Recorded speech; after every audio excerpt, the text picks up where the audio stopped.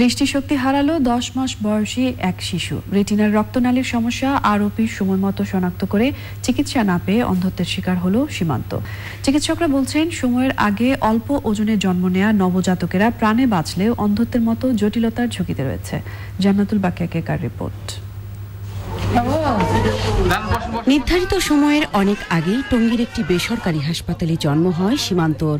তার ওজন ছিল মাত্র উনিশশো গ্রাম। সময়ের আগে অল্প ওজনে জন্ম নেয়া শিশু সীমান্ত চোখের রেটিনার রক্তনালীর সমস্যা আরও পিতে ভুগছিল। দশ মাস। কি সমস্যা? না।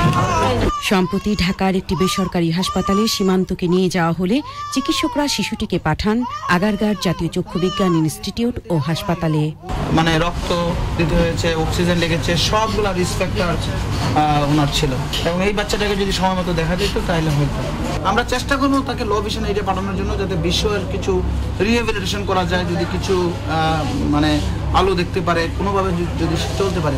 কিন্তু সেই মানে অবস্থাটাও খুব ক্ষীণ। কিন্তু ততদিনে সীমান্তর চোখের আলো সীমান্ত টেনেছে। আর কোনোদিনই ফিরবে না তার চোখের আলো। বাচ্চা যে চোখে দেখেন দেখে না সেটা বুঝতে পারছেন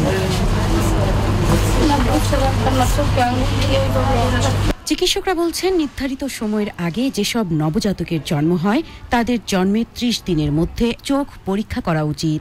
এছাড়াও আঠাশ সপ্তাহের আগে যেসব নবজাতকের জন্ম, তাদের তিন সপ্তাহের মধ্যে আরোপি শনাক্তে চক্ষু চিকিৎসক দেখানো জরুরি।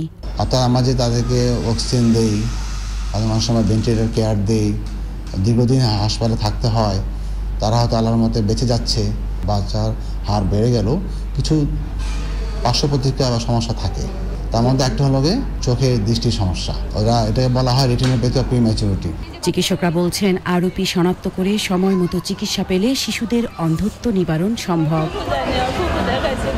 Jannatul Bakiya, Keka, channel I, Dhaka.